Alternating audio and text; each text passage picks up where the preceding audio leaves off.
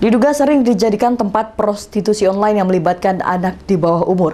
Hotel Nusantara yang berada di Jalan Suprapto, Kecamatan Pontianak Selatan, ditutup sementara oleh Satuan Polisi Pamung Praja, Kota Pontianak. Penutupan dilakukan sepekan mulai tanggal 9 April hingga 16 April 2021. Penutupan Hotel Nusantara ini dilakukan karena petugas gabungan dari polisi, Satpol PP, dan Komisi Perlindungan Perempuan dan Anak Kalimantan Barat kerap menjaring anak di bawah umur yang terlibat prostitusi online. Penutupan ini dilakukan sesuai dengan rapat yang dilakukan oleh pemerintah Kota Pontianak bersama dengan pihak Hotel Nusantara.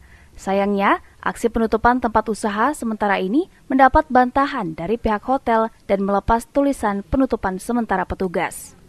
Sehingga petugas Satpol PP Kota Pontianak yang datang ke lokasi penyegelan langsung menempelkan stiker penyegelan sementara hingga batas waktu yang ditentukan.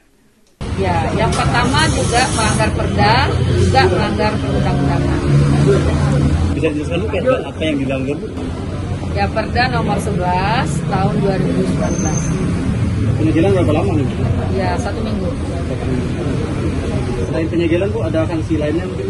Ya, membayar denda 500 ribu. Ini terkait dengan temuan kami dan juga temuan dari pemerintah kota tentunya bahwa hotel ini sudah empat kali dalam tahun ini kami lakukan razia bersama Polsek Selatan satu kali di bulan Januari, dua kali di bulan Februari, serta uh, sekali di akhir Maret kemarin. Di empat aktivitas itu kami mengamankan uh, pertama 8 orang termasuk anak sana, kemudian 17 berikutnya uh, eh, 6 dan terakhir kemarin itu kita amankan 21. Nah, walaupun kita amankan 21 itu sebenarnya masih ada yang uh, sempat tidak kita amankan lebih banyak sebenarnya.